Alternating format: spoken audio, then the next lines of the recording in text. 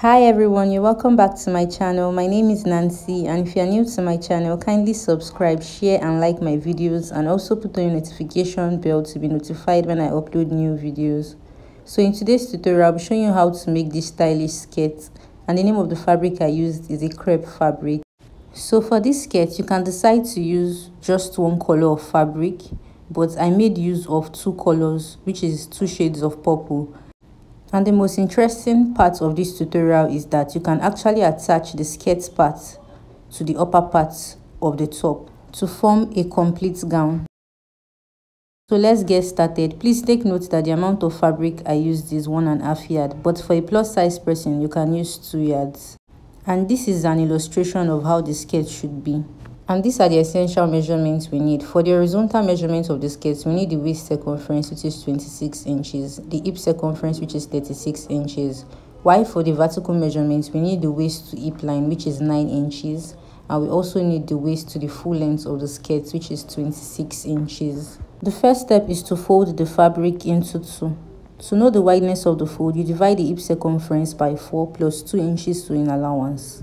The next step is to mark the starting line. Remember that there is a waistband of 1 inch. This simply means that we subtract 1 inch before marking the starting line. So that 1 inch I subtracted will be replaced when I'm ready to fix the waistband to the waist of the skirt. The next vertical measurement is the waist to hip line which is 9 inches. And the next vertical measurement to mark is the measurement taken from the waistline to the full length of the skirt which is 26 inches so i added one inch sewing allowance to the hem which made it 27 inches altogether so this is the waistline the hip line and the full length of the skirt on the waistline, I'll place the waist circumference divided by 4. The waist circumference divided by 4 is 6.5. I added half inch because of the dart allowance which made it 7 inches altogether plus 1.5 inches sewing allowance. The next line which is the hip line i'll place the hip circumference divided by 4 plus 1.5 inches sewing allowance to connect the waistline to the hip line. So the reason why i'm using 1.5 inches sewing allowance to the side is because i want to be lining the skirt and it's actually a stretchy fabric so it doesn't really need much allowances. By the side to get the hem circumference, I'll subtract 6 inches from the hip measurement. That will be 36 inches minus 6, which will be 30 inches. So I'll divide the 30 inches by 4 and that will give me 7.5. Now I'm going to mark 1.5 inches by the side for the sewing allowance to connect the hip point to the hem point as shown.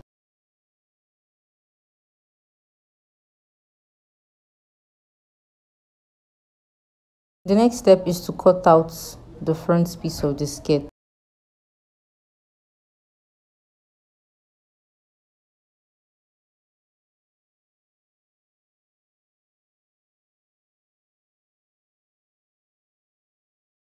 After getting the front piece of the skirt, the next step is to fold the fabric into two to place the front piece on it so you can easily mark the back piece of the skirt.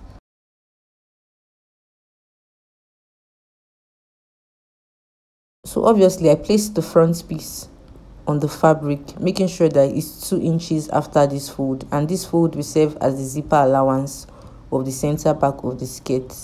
To get the zipper allowance, I'll mark 1 inch on the waistline and 1.5 inches on the hip line. So if you are very familiar with my tutorials, realize that I usually use 2 inches on the hip parts of the zipper allowance. But here, I decided to use 1.5. The reason is because I don't want it to be too protruded. On the zipper part of the skirt to avoid it from bulging. And on the hem line, I marked just 1 inch to connect the three points together.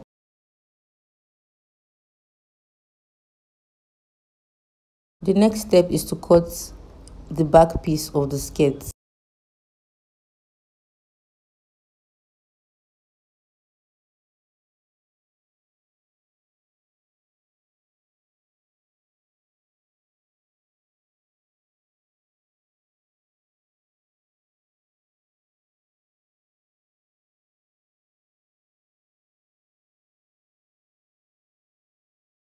When making a skirt, the waistline for the front piece is usually half inch deeper than the back piece. So I marked half inch on the center point of the front piece to connect it to the side. Now I'm going to trim this out.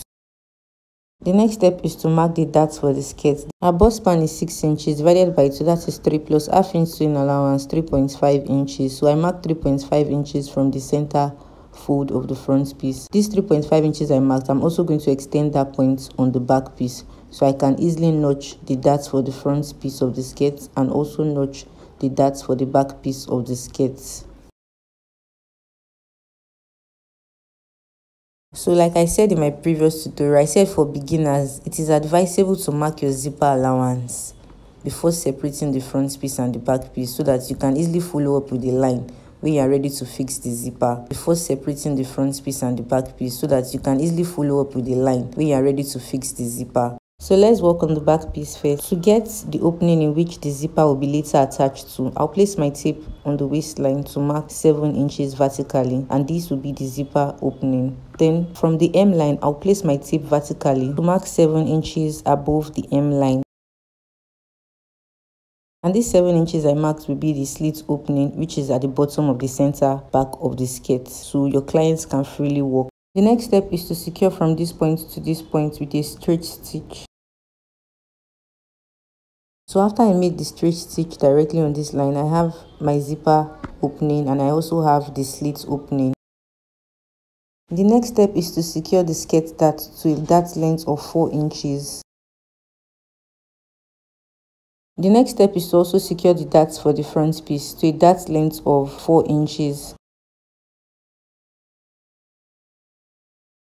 Alright, so I've secured the darts for the back piece and I have also secured the darts for the front piece. For the side flounce of the skirt, this is the fabric I'll be working with. To know the wideness of the fabric you need, you divide the hip circumference by 2. A hip circumference is 36 inches divided by 2 which will be 18 inches. So I added extra 3 inches sewing allowance because of the edges that will be sewn. That actually made it 21 inches altogether.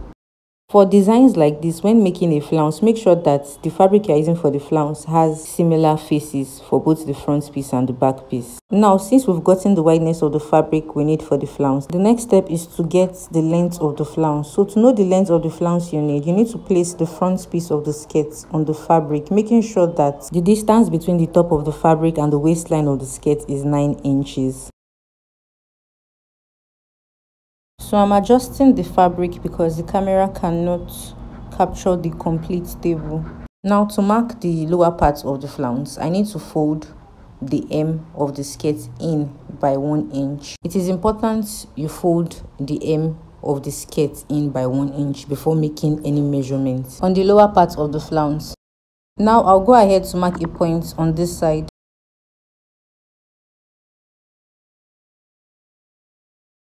and for the left side of the skirt i'll just place my tape starting from the hem of the skirt to mark about 14 inches. So the length of the flounce at this point to determine how long you want the flounce to be. So if you want the flounce to be shorter than mine then you should reduce the length to about 9 inches and don't use 14 inches. But if you want it to be longer than mine you can add extra inches to the 14 inches. The next step is to connect these two points together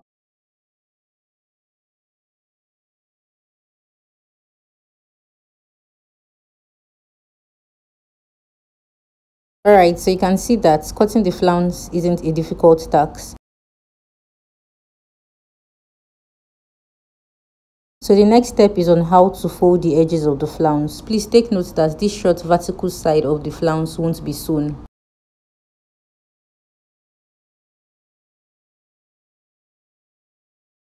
Now I'll take this fabric to the sewing machine to secure the top parts of the flounce by folding it in by half an inch and further folding it in by half an inch. After securing the top parts of the flounce, the next step is to secure this longer side vertically downwards by folding it in by half an inch and further folding it in by half an inch.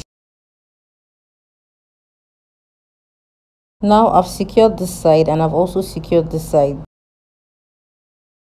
The next step is to secure the bottom of the flounce by folding it in by half an inch and further folding it in by half an inch.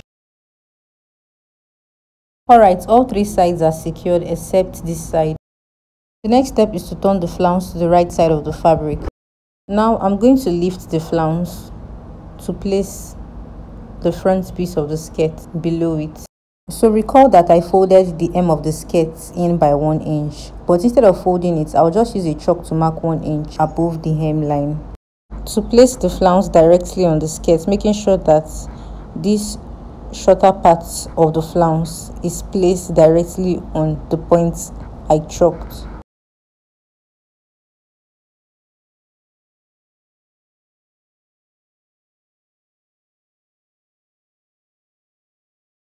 The next step is to fold the top of the flounce in such a way that it aligns with the waistline but making sure that the waistline is half an inch above the fold.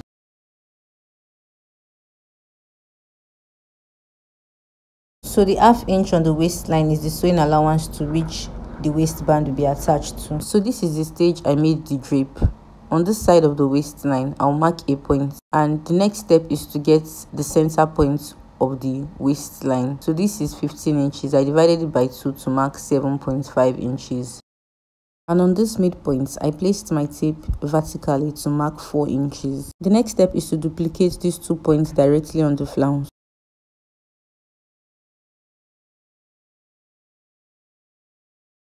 after spreading out the flounce the next step is to duplicate the points.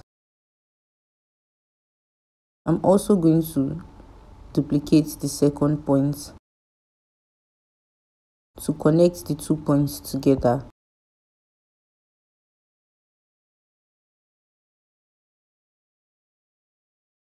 Now I'm going to take this to my sewing machine to stitch directly on this line I chalked.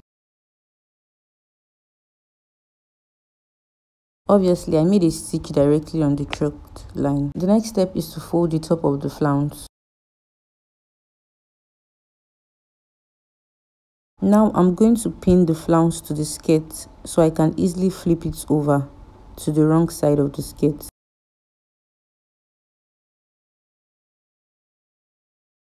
On the side I stitch, obviously you can see that there is the extra fabric by the side of the hip curve. So I'm just going to use my scissors to trim this out following the shape of the hip curve on the skirt but I won't be trimming the other side of the hip curve because the flounce on the other hip curve won't be attached into the side seam of the skirt. Now I'm just going to flip the skirt to the right side. So obviously you can see that the flounce has taken the shape of the skirt on this side. The next step is to make sure that you fold the side of the flounces directly on the skirt in such a way that when you attach the back piece of the skirt on the front piece, it doesn't capture the sides of the flounce. So this is the only part of the flounce that will be attached into the side seam of the skirt.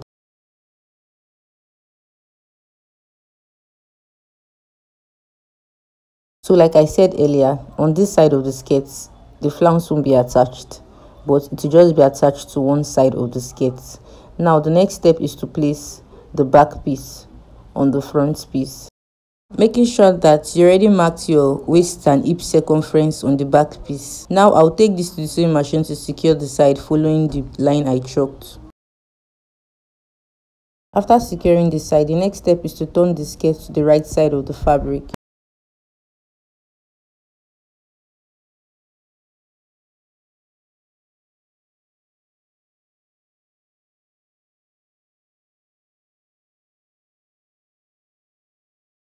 So you can see that the flounce didn't affect the hem of the skirt and it also did not affect the waist of the skirt. Now I'll take the skirt to the sewing machine to secure the hem of the skirt with the back slit included.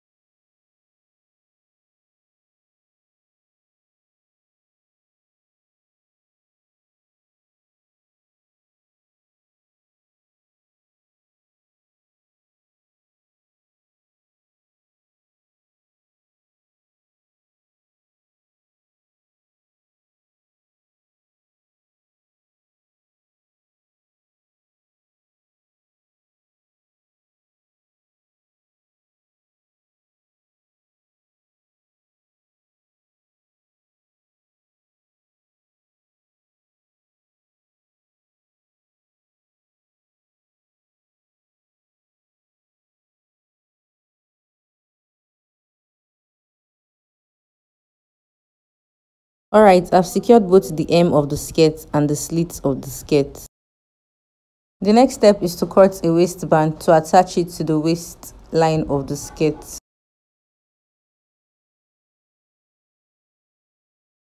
Alright, I've secured the waistband to the waist of the skirt and the final step is to secure the zipper on the zipper allowance which is on the center back of the skirt.